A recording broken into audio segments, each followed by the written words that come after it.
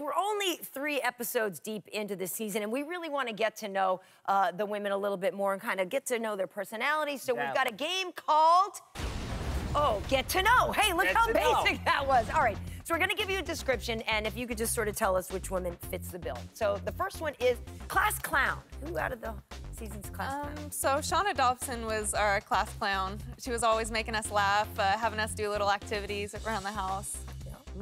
Okay, who would be your best friend?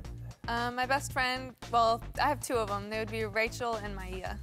And why is that? Um, we're just all kind of moms. We get along really good. Uh, it was just really fun hanging out with us three. Yeah. All right, nice. Moving on, who would you let babysit your daughter? Maybe it would be one of those two. Yeah, probably like Maia or Yeah? Rachel. They have kids. They know what to do with them. Who has the loudest mouth in the house? Loudest mouth. Um, well, Deanna was kind of loud and out there. I wouldn't say she's a loud mouth, but she was just kind of crazy in that sense. Yeah, no, fair enough. No, she was on with us last week. She was she's, good. She's lively. yeah. I like it. She's I like funny. It. All Um, right, No, go ahead. biggest charmer after myself No. on there, who would that be? Biggest charmer. Biggest charmer in terms of, you know, trying to charm you out of, I don't know. The, the higher bunk, the better bed. Yeah, whatever it may be in the house, whatever a woman tries to charm another woman into, whatever that might be. I don't know. I've seen you kissing on there.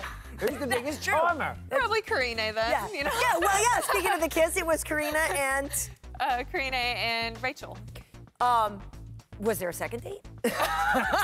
I mean, No, um, I guess Mind out of the gutter, Karyn. it's an honest question. that's just kind of Karina's personality. Yeah. She's really fun and loving, and she, she's really fun to be around. Yeah, no, it looked like a fun moment on there. So, out of all the women in the house, uh, is there somebody that we could see up at the desk with us on Fox breaking down fights? Anybody there, a future analyst? Well, if you can do it, anybody right, Michael? What? Zing! Get off. Love this Get out of here. She's Get won here. twice tonight, folks. Listen, Um, it's a lot harder than what it looks. thank okay? you. So he needed five years of school to be able to do this.